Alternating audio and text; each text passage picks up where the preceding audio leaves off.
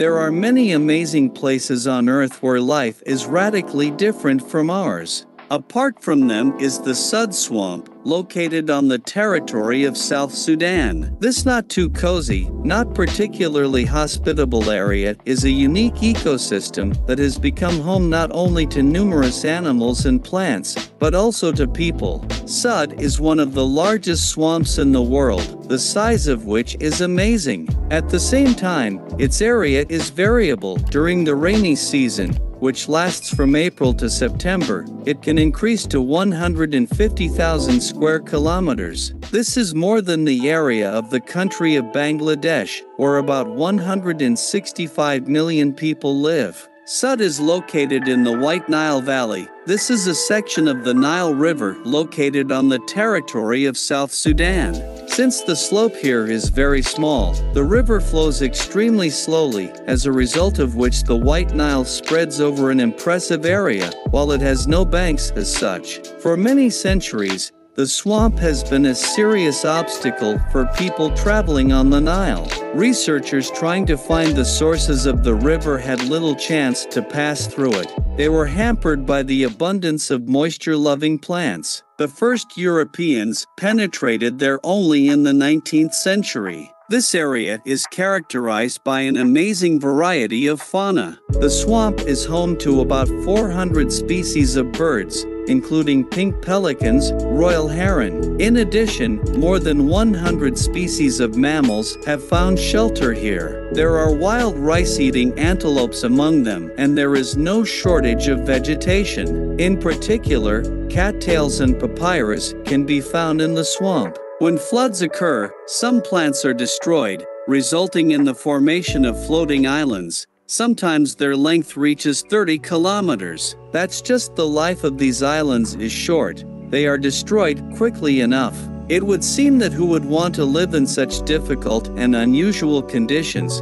But people are amazing creatures who, if necessary, are able to adapt well. Surprisingly, the Sudd Swamp is inhabited inhabited by representatives of a group of related peoples called Nilotes. Their houses are located on small plots of land and are round huts with conical roofs. The walls are made of branches that are covered with a mixture of manure, straw, and clay. About once every five to six years, such a house has to be built anew.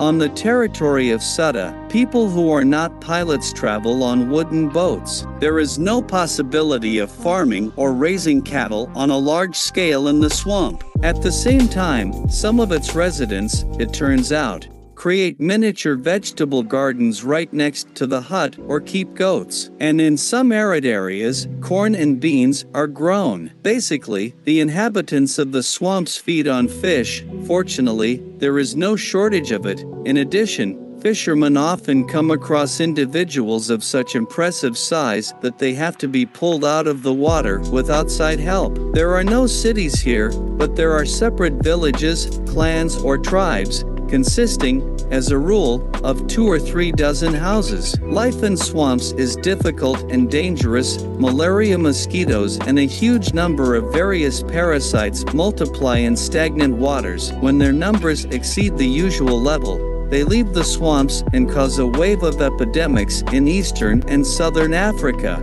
But, despite all the disadvantages, Nilotes love their home and do not want to move to cities or villages on land. A significant part of the Nilotes are adherents of traditional beliefs, they prefer to live the way their ancestors lived for hundreds of years. They keep wooden idols, personifying the gods in their huts. The most important deity is Deng Dit, who is considered the creator of people. According to the World Wildlife Fund, Sudd needs international protection. It is quite possible that someday the swamp will disappear forever. The reason for this will be the Jonglei Canal, the joint brainchild of Egypt and Sudan. His first project appeared at the dawn of the 20th century. In the 50s, it was decided to build it. The work began directly in the late 70s. First of all, The canal is necessary in order to improve Egypt's water supply. The problem is that about half of the water from the southwestern tributaries of the Nile does not reach the lower reaches of the river, as it evaporates in the swamp. The civil war in Sudan prevented the implementation of this project. As a result,